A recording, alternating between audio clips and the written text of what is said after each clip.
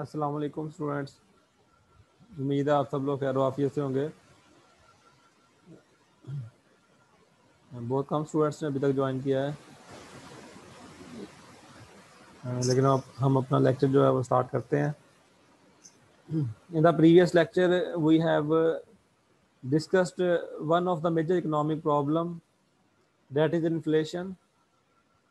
uh, we have uh, studied about the definition of uh, inflation measurement of inflation types of inflation who is hurt by inflation and who is unaffected by inflation today we are going to start the another major economic problem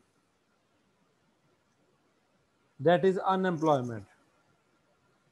Today we will discuss about the definition of unemployment, measurement of unemployment and types of unemployment. Unemployment की measurement बहुत important है। The reason is that के इसकी जो definition है वो country to country भी vary करती है। और इसकी डेफिनेशन में बहुत आप कह लें कि बहुत से मेन पॉइंट्स हैं जिनको हमें अंडरस्टैंड करने की ज़रूरत होती है। So this this definition is derive from the book of economics by McConnell Brue and Flynn American edition obviously so this definition is according to the USA unemployment को define करने के लिए आपके सामने मैंने एक जो है वो एक फिगर सी जनरेट की है। पॉपुलेशन को हमने दो कैटेगरीज में डिवाइड किया है। एक है लेबर फोर्स और दूसरा है not in labour force labour force में काम करने वाले हजरात शामिल है नॉट इन लेबर फोर्स में ऑब्वियसली जो काम नहीं करने वाले, वो शामिल है. लेबर फोर्स में आता है more than sixteen years of old जिसकी उम्र 16 साल या इससे ज़्यादा हो, वो लेबर फोर्स में आएगा. Who is able and willing to work काम करने के काबिल हो, काम करना चाहता हो. Who is able and willing to work and seeking for job for at least four weeks go और जॉब भी सर्च कर रहा हो और कम से कम चार हफ़्ते से जो है वो जॉब को सर्च कर रहा हो। तो अगर ये चीज़ें हैं तो ये वो आदमी जो है वो concern person will be in labour force और दूसरी तरफ़ है not in labour force let's see case में कौन से लोग आते हैं। Less than 16 year of old जिसकी एज जो है वो 16 ईयर से कम है full time students full time students है इट मीन्स के अगर वो more than 16 year of old भी है तो भी वो नॉट इन लेबर फोर्स में आएगा. फुल टाइम स्टूडेंट्स जो है वो चाहे उसकी एज मोर देन 16 ईयर है लेकिन वो लेबर फोर्स में नहीं आएगा.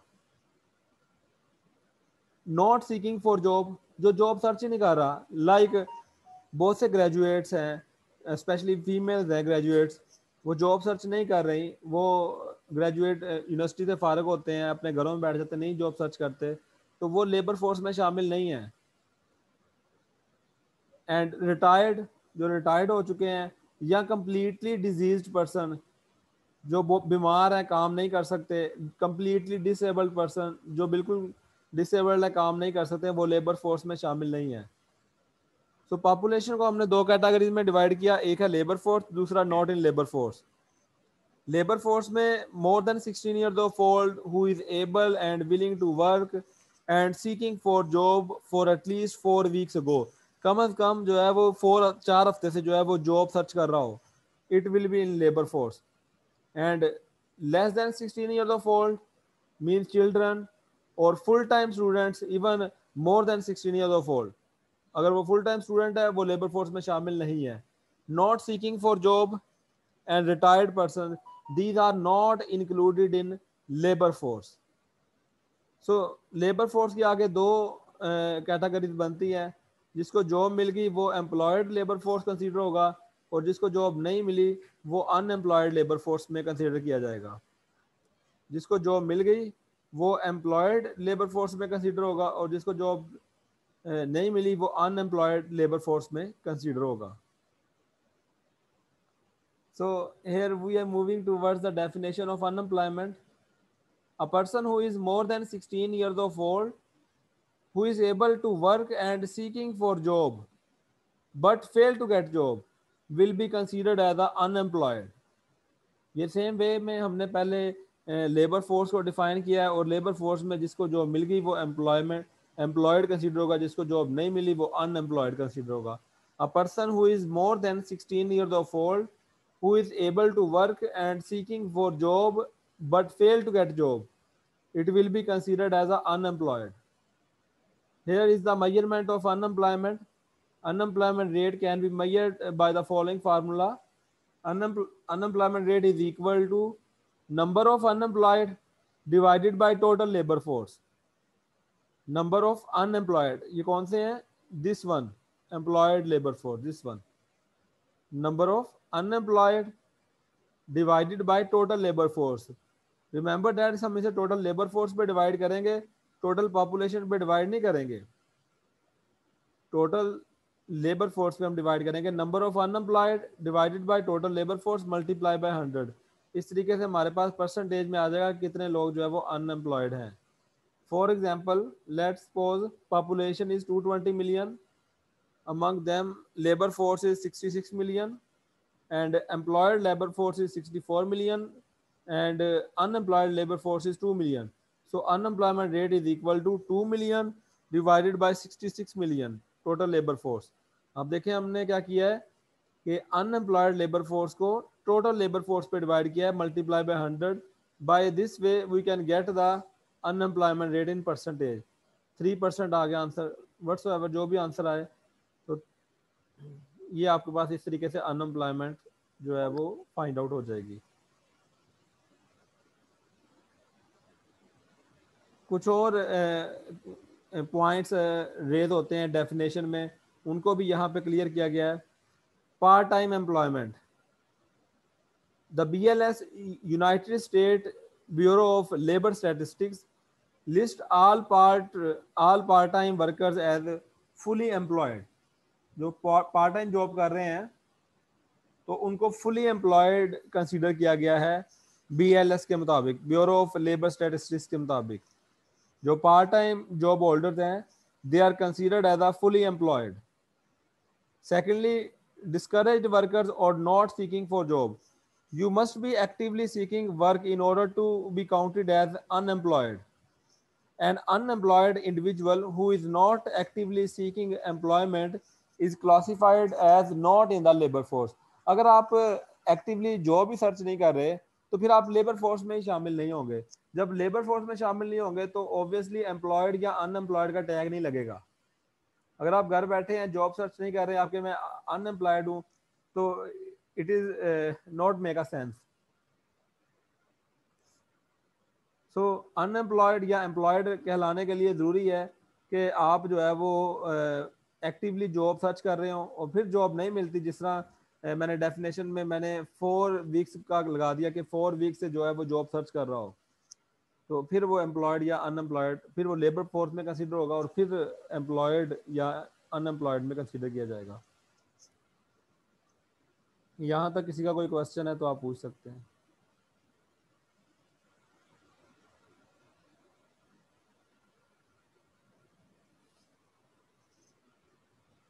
Next, next is types of unemployment. There are three major types of unemployment. First one is frictional unemployment. Second one is structural unemployment. And third one is cyclical unemployment. First one is frictional unemployment.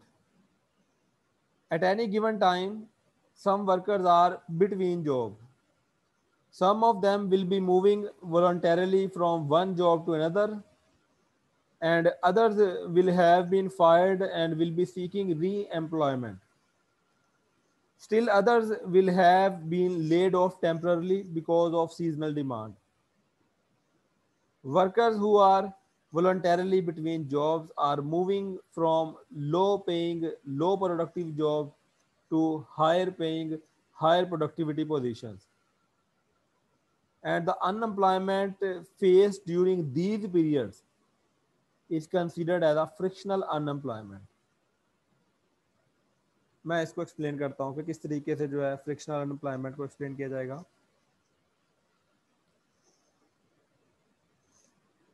आप अपनी मर्ज़ी से job छोड़ते हैं, आपको नई job आपको लगता है कि आपकी ग्रेजुएशन हो गई है, आप एक दो माल गा के इससे अच्छी जॉब सर्च कर लोगे वो जो एक दो माह पीरियड आप फ्री रहोगे, वो फ्रिक्शनल अनएम्प्लॉयमेंट में आएगा।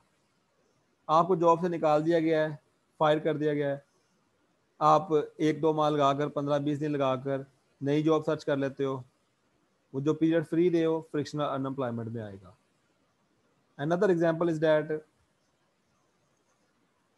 आप किसी ऐसी इंडस्ट्री में काम कर रहे हो, जिनका सीज़न ऑफ़ हो गया सीज़न ऑफ़ में वो आपको निकाल देते हैं। जैसे पाकिस्तान में जो है वो शुगर इंडस्ट्रीज़ है तो वो सीज़न एंड होता है तो वो एम्प्लॉय को जो है वो फ्री कर देते हैं। तो वो जितना पीरियड आप फ्री रहते हो, वो जो है वो फ्रिक्शनल अनएम्प्लॉयमेंट में कंसिडर होगा। या आप लो पे पे जॉब कर रहे थे लो प्रोडक्टिविटी जॉब कर रहे थे, आपने खुद जॉब छोड़ दिया कि आपको लगता है कि आप एक्सपीरियंसड हो गए हो, आप जो है वो एक दो माह में इससे अच्छी हाई पे या हाई प्रोडक्टिविटी पोजीशन जो है वो जॉब जो है वो सर्च कर लोगे तो वो पीरियड जो है ये भी फ्रिक्शनल अनएम्प्लॉयमेंट में कंसिडर होगा hopefully you got the point all these unemployed people are considered in frictional unemployment economists use the term frictional unemployment consisting of search unemployment and wait unemployment for workers who are either searching for jobs or waiting to take jobs in the near future ऐसा भी होता है कि जैसे आपने graduation की है। Graduation होता ही आपको फौरी जॉब नहीं मिलती। एक माह, दो माह आप जॉब सर्च करते हैं, मेहनत करते हैं, फिर आपके जॉब के जॉब मिलती है। वो जो टाइम पीरियड आप फ्री रहते हैं वेट करते हैं, इसको भी फ्रिक्शनल अनएम्प्लॉयमेंट ही कहते हैं। मीन्स सर्च अनएम्प्लॉयमेंट और wait unemployment is also the part of frictional unemployment seasonal unemployment is also the part of frictional unemployment. Seasonal unemployment, search unemployment, wait unemployment, these are the part of frictional unemployment. So you can say that if people move, are moving from one job to another job uh, voluntarily or uh, or uh, you can say that non voluntarily अपनी मर्ज़ी से छोड़ रहे हो या जो है आपको जॉब से निकाल दिया गया हो दोनों केसेस में जब आप नई जॉब एक दो माल गाकर सर्च करते हैं, उस दौरान जो आप फ्री रहते हैं, वो फ्रिक्शनल अनएम्प्लॉयमेंट कहलाएगा ऑब्वियसली ये टेम्प्रेरी पीरियड है, जो हर टेम्प्रेरी अनएम्प्लॉयमेंट है, जो हर वक्त इकानमी में मौजूद रहती है। टेम्प्रेरी है लोगों के लिए, एक दो माह में रिजोल्व हो जाती है, लेकिन इकानमी में तो हर वक्त प्रिवेल करती ना, क्योंकि लोगों को जॉब से फायर किया जा रहा होगा। लोग अपनी मर्ज़ी से जॉब छोड़ रहे होंगे, लोगों की ग्रेजुएशन कंप्लीट हो रही होगी, और वो नई जॉब जो है, वो सर्च कर रहे होंगे। या वो लो स्केल जॉब से हाई स्केल जॉब सर्च कर रहे होंगे तो ये सर्कल चलता रहता है हर वक्त। तो ये टेम्पररी अनएम्प्लॉयमेंट है, लेकिन इकोनॉमी में हर वक्त प्रिवेल करती है। Second type of unemployment is structural unemployment structural unemployment is faced due to change in the structure of the economy जब इकोनॉमी का स्ट्रक्चर चेंज हो रहा होता है, उस वजह से जो अनएम्प्लॉयमेंट फेस करना पड़ती है, उसको हम स्ट्रक्चरल अनएम्प्लॉयमेंट कहते हैं। स्ट्रक्चरल चेंज क्या है? देखें इकोनॉमी के तीन सेक्टर हैं एग्रीकल्चर सेक्टर है इंडस्ट्रियल सेक्टर है, और सर्विस सेक्टर है। जब हमारी लेबर फोर्स जो है, वो एग्रीकल्चर सेक्टर से इंडस्ट्रियल सेक्टर या सर्विस सेक्टर की तरफ़ मूव करती है, उसको हम स्ट्रक्चरल चेंज कहते हैं। लेबर फोर्स मूव क्यों करती है? Because agriculture sector is considered as a traditional sector while industrial and service sector are considered as a modern sector और इकोनॉमिक डेवलपमेंट की रिक्वायरमेंट है कि लेबर जो है वो एग्रीकल्चर सेक्टर से जो है वो इंडस्ट्रियल सेक्टर या सर्विस सेक्टर की तरफ़ मूव हो रही हो। इकोनॉमिक डेवलपमेंट की रिक्वायरमेंट है डेफिनेशन उसका डिटर्मिनेंट है स्ट्रक्चरल चेंज और स्ट्रक्चरल चेंज क्या है?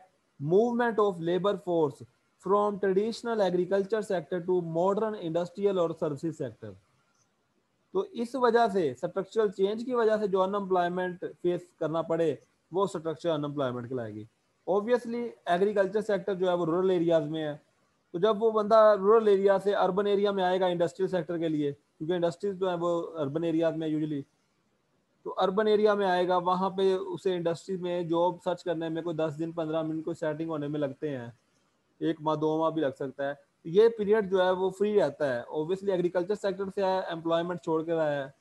तो ये ये जो पीरियड फ्री रहता है due to change in the structure due to shifting from one sector to another sector is considered as a structural unemployment तो ये जो मूवमेंट की वजह से एग्रीकल्चर सेक्टर से इंडस्ट्री सेक्टर स्ट्रक्चरल चेंज की वजह से जो अनएम्प्लॉयमेंट फेस करना पड़ी, वो स्ट्रक्चरल अनएम्प्लॉयमेंट कहलाएगी। और ऑब्वियसली ये भी एक टेम्पररी अनएम्प्लॉयमेंट है, जो लोगों के लिए तो ख़त्म हो जाती है, लेकिन इकानमी में हर वक्त रहती है। क्योंकि हर वक्त इकानमी में स्ट्रक्चरल चेंज चल रही है। पाकिस्तान 1947 में बना था, तब हमारी लेबर फोर्स का तकरीबन 76 परसेंट एग्रीकल्चर सेक्टर में काम करता था। और इस टाइम हमारी लेबर फोर्स का अराउंड 44 परसेंट जो है वो एग्रीकल्चर सेक्टर में काम करता है। इट मीन बाकी जो है वो इंडस्ट्रियल सेक्टर या सर्विस सेक्टर में शिफ्ट हो गए हैं और ये फर्दर मूवमेंट चलती रहेगी।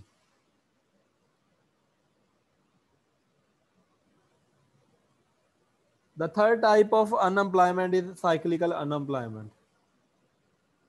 Unemployment that is caused by a decline in total spending.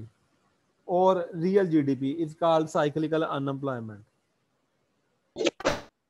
Real GDP के कम हो जाने की वजह से जो अनएम्प्लॉयमेंट हो, उसे हम साइक्लिकल अनएम्प्लॉयमेंट कहते हैं रियल जीडीपी के कम हो जाने की वजह से, या टोटल प्रोडक्शन के कम हो जाने की वजह से, या बिज़नेस साइकिल फ्लक्चुएशन की वजह से जो अनएम्प्लॉयमेंट रेज हो, उसे हम साइकिलिकल अनएम्प्लॉयमेंट कहते हैं और यही असल अनएम्प्लॉयमेंट अगर देखा जाए क्योंकि ये टोटल प्रोडक्शन के जीडीपी के कम हो जाने की वजह से है। इससे पहले वाले जो दो पढ़ी हैं वो वो टेम्प्रेरी अनएम्प्लॉयमेंट है और हर वक्त इकानमी में मौजूद रहती हैं।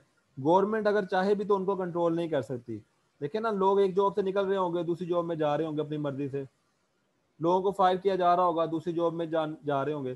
ग्रेजुएशन हो रही होगी दो माह तीन माह लग रहे होंगे। तो उनको जो है वो टेम्प्रेरी अनएम्प्लॉयमेंट है लेकिन हर वक्त इकानमी में प्रिवेल करती है। इसी तरह स्ट्रक्चरल चेंज जो है, वो इकोनॉमिक डेवलपमेंट का एक डिटर्मिनेंट है। तो स्ट्रक्चरल चेंज चलती रहेगी तो उसकी वजह से अनएम्प्लॉयमेंट भी चलेगी। वो स्ट्रक्चरल अनएम्प्लॉयमेंट है, वो भी एक टेम्प्रेरी अनएम्प्लॉयमेंट है, लेकिन इकानमी में हर वक्त मौजूद रहती है। ये जो साइकिलिकल अनएम्प्लॉयमेंट है, ये जीडीपी के कम हो जाने की वजह से फेस करना पड़ती है। साइकिलिकल अनएम्प्लॉयमेंट जो है, ये जीडीपी के कम हो जाने की वजह से जो है, वो फेस करना पड़ती है। तो इसको, ये असल अनएम्प्लॉयमेंट है जिसको ओवरकम करने की ज़रूरत होती है। यहाँ तक आप लोगों का किसी का कोई क्वेश्चन है तो you are free to ask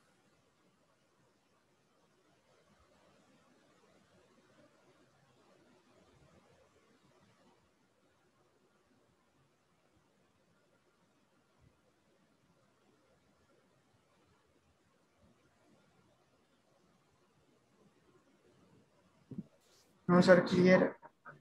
All right.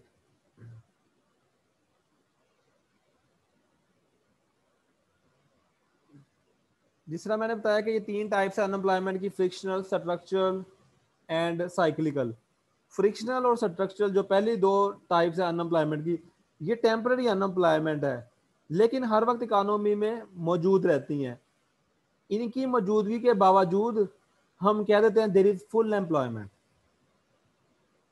concept गौर से सुनिएगा।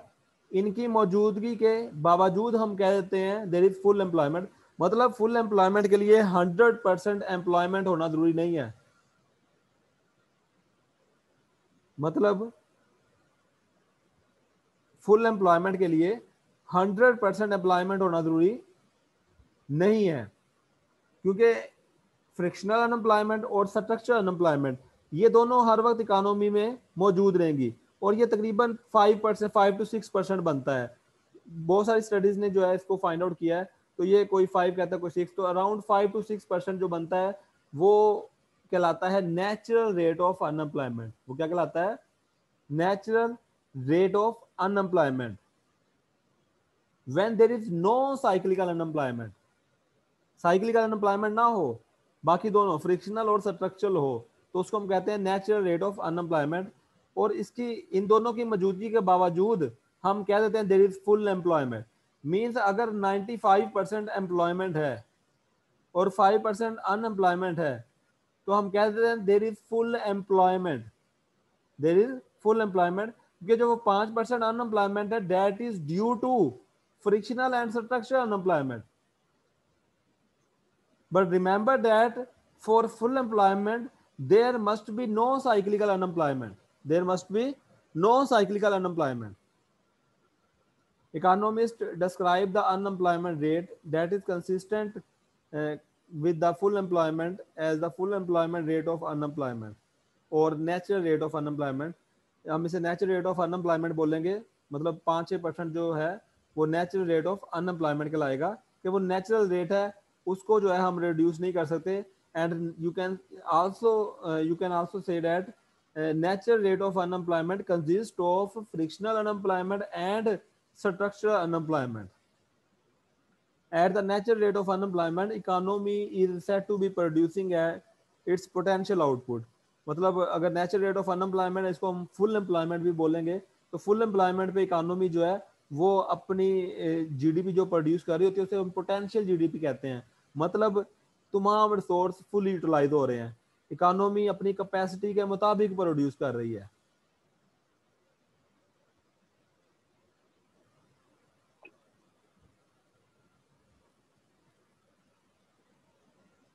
एग्ज़ाम्पल है आपके सामने के फोर टू फाइव परसेंट है।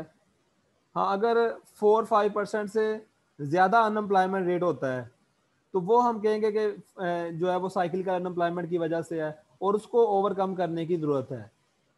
अगर फाइव सिक्स सिक्स तक कह लें सिक्स तक अगर अनएम्प्लॉयमेंट रेट है, या फाइव तक अनएम्प्लॉयमेंट रेट है तो ये ये क्या है? नेचुरल रेट ऑफ़ अनएम्प्लॉयमेंट है that consist of frictional and structure unemployment clear है बेटा पॉइंट किसी को कोई कंफ्यूजन है इसमें? यस सर क्लियर है। Next is economic cost of unemployment economic cost of unemployment का मतलब है कि अनएम्प्लॉयमेंट की हमें क्या कॉस्ट बियर करना पड़ती है? अनएम्प्लॉयमेंट का जीडीपी पे क्या इम्पैक्ट होता है? Unemployment that is excessive involve greater economic and social cost the basic economic cost screen share हो रही।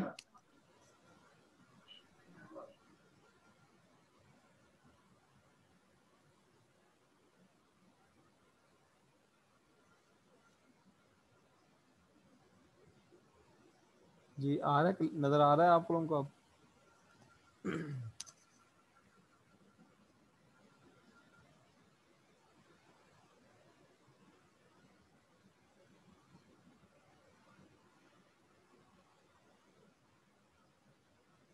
Economic cost of unemployment means कि अनएम्प्लॉयमेंट का जीडीपी पे क्या इम्पैक्ट होता है? When the economy fails to create enough jobs for all who are able and willing to work. Potential production of goods and services uh, will surely lost. अब क्या है कि वो इसके अगर अगर गवर्नमेंट जो है वो तमाम लोगों को एम्प्लॉयमेंट अपॉर्चुनिटीज़ नहीं दे पाती तो इससे क्या होगा इसका अफेक्ट होगा जीडीपी पे रिवर्स इफ़ेक्ट होगा उससे हमारी जीडीपी या टोटल प्रोडक्शन जो है वो कम होना शुरू हो जाएगी This was firstly estimated by Professor Oken. That's why famous है the Oken's law. अनएम्प्लॉयमेंट का जीडीपी पे इम्पैक्ट जो है वो प्रोफेसर ओकर ने फ़र्स्ट टाइम फाइंड आउट किया था दैट्स व्हाई फ़ेमस है the Okun law by the words of professor Okun Okun law indicates that every one percentage point by which actual unemployment rate exceeds the natural rate of unemployment a negative GDP gap of about two percent occurs. दोबारा बोलता हूँ। One percent increase in unemployment rate above the natural rate of unemployment क्या मतलब है इसका? कि अगर unemployment rate में एक परसेंट इजाफा होता है above the natural rate of unemployment मतलब पाँच छह परसेंट से ज़्यादा लेट सपोज़ हम फिक्स कर लेते हैं, छह परसेंट जो है वो नेचुरल रेट ऑफ़ अनएम्प्लॉयमेंट है। तो अगर छह परसेंट से ज़्यादा अनएम्प्लॉयमेंट में एक परसेंट इजाफा होता है तो उससे negative GDP gap of about two percent create हो जाएगा। उससे जीडीपी गैप जो है वो माइनस टू परसेंट क्रिएट हो जाएगा। या आसान अल्फाज में हमारी जीडीपी जो है वो माइनस टू परसेंट या टू परसेंट जो है जीडीपी डिक्लाइन हो जाएगी। Okun law indicates that one percent increase in unemployment rate above the natural rate of unemployment will cause negative G D P gap of about two percent दोबारा बताता हूँ क्या कह रहा है ये, कि अगर अनएम्प्लॉयमेंट रेट में एक परसेंट इजाफा होता है above the natural rate of unemployment इसका ये भी मतलब है कि one percent increase in cyclical unemployment simply इसका ये मतलब भी है one percent increase in cyclical unemployment क्योंकि above the natural rate of unemployment है तो ऑब्वियसली कि अगर साइक्लिकल अनएम्प्लॉयमेंट में एक परसेंट इजाफा होता है तो उससे GDP gap minus two percent create हो जाएगा। मतलब एक्चुअल जीडीपी हमारी दो परसेंट डिक्लाइन हो जाएगी लेट्स टेक जीडीपी गैप क्या है GDP gap is equal to actual GDP minus potential GDP actual GDP minus potential GDP जो जीडीपी एक्चुअली प्रोड्यूस हो रही होती है रियलिटी में वो एक्चुअल जीडीपी कहलाती है minus potential GDP full employment level of output is called potential GDP अगर हम अपने रिसोर्सेज को फुली यूटिलाइज कर दें मतलब फुल एम्प्लॉयमेंट हो इकोनॉमी में। फुल एम्प्लॉयमेंट का मतलब समझ रहे ना? जिसमें natural rate of unemployment prevail करता है। मीन्स 95 परसेंट एम्प्लॉयमेंट जो है वो फुल एम्प्लॉयमेंट कहलाएगी फुल एम्प्लॉयमेंट लेवल पे जो जीडीपी बनती है, जो होनी चाहिए, वो पोटेंशियल जीडीपी कहलाएगी जिसपे आपका तमाम रिसोर्सेज फुल यूटिलाइज है। और इन दोनों में जो गैप हो actual GDP minus potential GDP ये कहलाएगा GDP gap actual GDP minus potential GDP मतलब ऑब्वियसली तभी क्रिएट होगा जब जब एम्प्लॉयमेंट अपॉर्चुनिटीज़ जो है वो फुली नहीं होंगी। मतलब जब अनएम्प्लॉयमेंट जो है, वो नेचुरल रेट ऑफ़ अनएम्प्लॉयमेंट से ज़्यादा होगी। अदरवाइज़ ये गैप ज़ीरो होगा। अदरवाइज़ ये गैप ज़ीरो होगा। और अगर वन परसेंट अनएम्प्लॉयमेंट में इजाफा होता है above the natural rate of unemployment तो उससे आपकी एक्चुअल जीडीपी जो है, ये टू परसेंट डिक्लाइन हो जाएगी। या आप ये कह लें आसान अल्फाज में कि अगर एक परसेंट साइक्लिकल अनएम्प्लॉयमेंट में इजाफा होता है तो उससे एक्चुअल जीडीपी जो है वो दो परसेंट डिक्लाइन हो जाएगी। सो जीडीपी गैप क्या आएगा? माइनस टू परसेंट ये दो परसेंट डिक्लाइन हो जाएगी तो ये क्या आंसर आएगा? Minus two so Okun law indicates that one percent increase in unemployment rate above the natural rate of unemployment will cause the negative GDP gap of about two जी, यहाँ तक किसी का कोई क्वेश्चन है तो मुझसे पूछ सकते हैं आप। This is the of today's lecture from the book of economics by McConnell Brue and Flynn chapter 26 business cycle unemployment and inflation ji students यहाँ तक कोई क्वेश्चन है